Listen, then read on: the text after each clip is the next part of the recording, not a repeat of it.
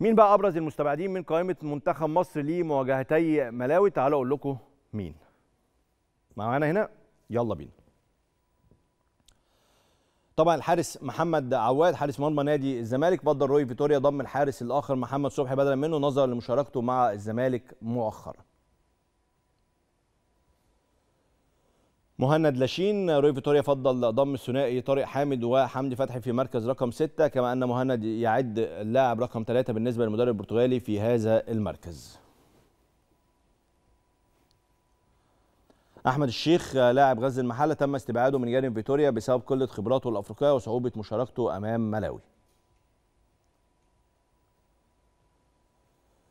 حسين الشحات فضل روي فيتوريا ضم أحمد عبد القادر وأحمد مصطفى زيزو نظرا لتفوقهما الدفاعي والهجومي بجانب مستواهما البدني مؤخرا إضافة لرغبته في ضخ دماء جديدة في المنتخب والنزول بمعدل الأعمار وهو متحقق في عبد القادر. محمد شريف تم استبعاده من جانب فيتوريا بسبب تراجع مستواه وقلة المعدل التهديفي له. محمد مجدي قفشه تم استبعاده من جانب فيتوريا بسبب تراجع مستواه مؤخرا وإن كان عمل مباراة كبيرة أمام القطن بصراحة. رمضان صبحي تم استبعاده بسبب عدم اكتمال شفائه من الإصابة التي عانى منها مؤخرا.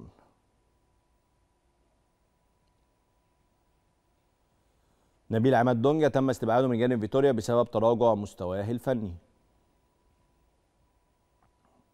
عمر جابر تم استبعاده من جانب فيتوريا بسبب تراجع مستواه الفني.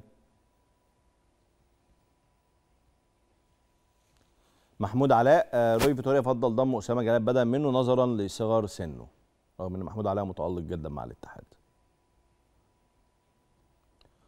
طاهر محمد طاهر تم اختيار مصطفى فتحي بدلا منه بسبب إيجابيته على المرمى وتسجيله للأهداف.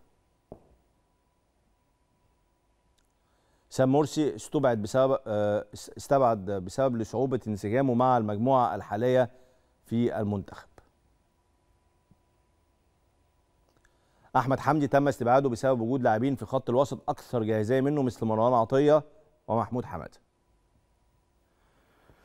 دي كواليس من جهاز الفني لمنتخب مصر. ليه؟ اللعيبة دي مش موجودة. خد بالك اللعيبة دي كانت موجودة مبدئيا في تفكير روي فيتوريا لقائمة المنتخب. عشان كده إحنا ذكرناهم بالاسم عشان هم كانوا في قائمة أكبر شوية من القائمة المعلنة. وبالتالي قلنا لحضراتكم أسباب غيابهم عن هذه القائمة.